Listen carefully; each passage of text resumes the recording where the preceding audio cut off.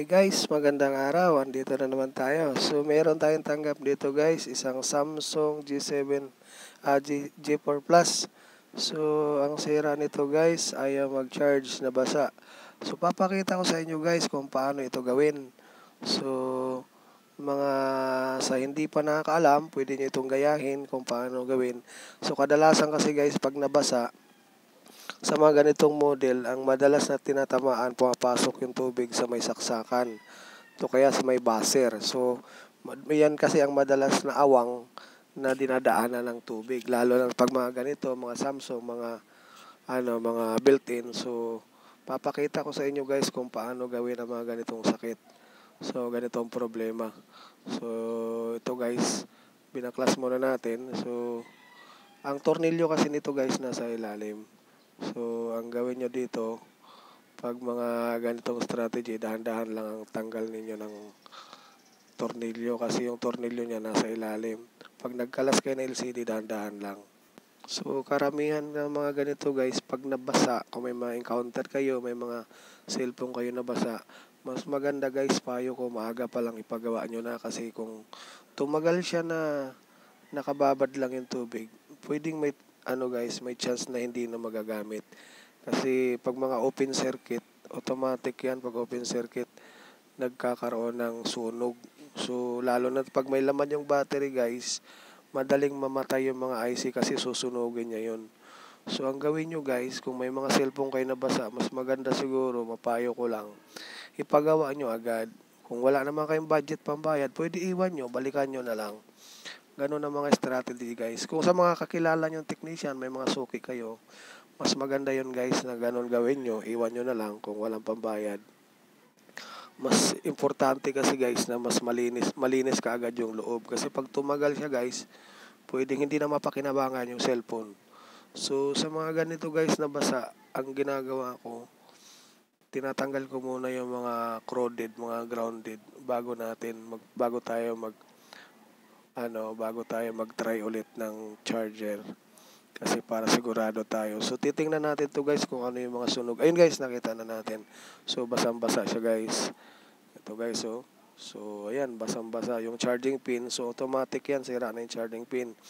Pag ganyan guys, papalitan na natin ng bago. So, hindi na tayo mag repair-repair. Automatic palitan ng bago yan guys. Kasi, pag nilinis lang natin guys, useless lang, babalik-balik lang yung sira. So, mas maganda papalitan ng bago para sigurado. Kaya yung ganun ang ginagawa ko guys, mas maigi yung ganyan, eh, pap, eh, ano, ire, hindi kasi pwedeng i-repair lang, kaya automatic palit bago para sigurado. So, ganito yung nangyayari guys pag nabasa. Ayan guys, nasunog na siya. So, kulang-kulang na ng paa. So, kukuskusin na lang natin to para magkaroon ng ngipin ulit. So, lilinisan muna natin. Ganun lang siya kadali guys. Tapos, papalitan natin ng bago. So, ang ginagawa ko dito guys, hot air ang ginagamit ko pag nagpalit ng bago. So, iniinit ko lang yung gilid para dumikit.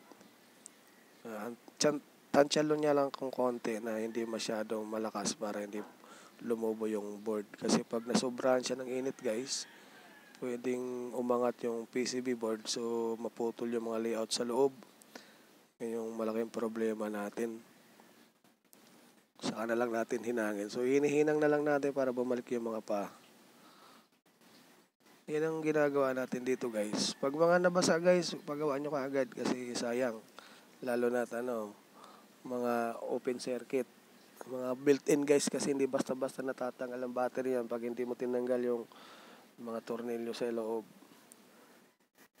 Ang ginagawa ko dito guys, yung ginagamit ko na flux, yung original, para kapit na kapit. Kasi pag mga local bilhin nyo, so kakaroon ng ano, error, matagal dumikit yung mga pan, mga lead niya, di pa kapareho ng original, talagang sigurado sigurado. So, ganun yung style dito, guys. So, ngayon guys, okay na siya. Tatry na natin kung gagana siya. Tingnan natin kung gagana yung ginawa natin kung magcha-charge. So, ganun lang kasimple yung ginagawa natin dito guys para hindi tayo masyadong mabigatan. Ayan, babalik muna natin yung tornilyo tapos saka natin tatry. Tapos lagay natin yung LCD.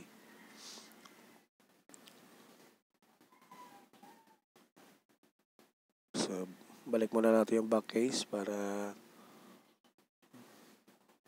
lagay natin yung tornilyo. Sa mga ano guys, sa mga baguhan, kung ano yung mga sira guys, pwede nyo mahanap sa channel ko. Marami ako mga technique, mga tricks na pwede nyo mapulutan ng idea. Gusto nyo malaman kung paano yung ibang sira na hindi nagagawa. May mga option tayo, may mga solusyon na pwede nyo kopyahin, gayahin nyo lang. So, makakatulong sa inyo. So, sa ganitong pamamaraan guys, kahit papaano, at makatulong man lang ng kaunti kung ano yung mga technique na mga ginagawa sa mga ganitong sira. Kaya maano ko guys, pag ano, ah, update, ah, subscribe kayo sa channel ko para ma-update kayo sa mga bago kong upload. So, ganun yung strategy dito guys.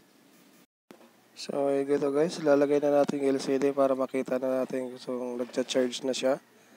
So, sa ganitong style guys, basic na basic lang ito. Kahit sino, kayang-kayang gawin. Basta may mga gamit lang kayo. So, ayun guys, nag-charge na siya. So, gumana na. So, itatry na lang natin ito mamaya pag nag-charge siya. Tatry natin kung gumagana ba lahat ng function. So, ganyan 0-0 guys kasi na-drain yung battery niya. 1.1, normal yan guys. So, wala na siyang sira. Nakuha na natin yung problema. So, ibibigay na natin sa customer. I hope na nagustuhan nyo yung ganitong video guys at makakatulong sa inyo. So, subscribe kayo guys para ma-update kayo sa bago kong upload.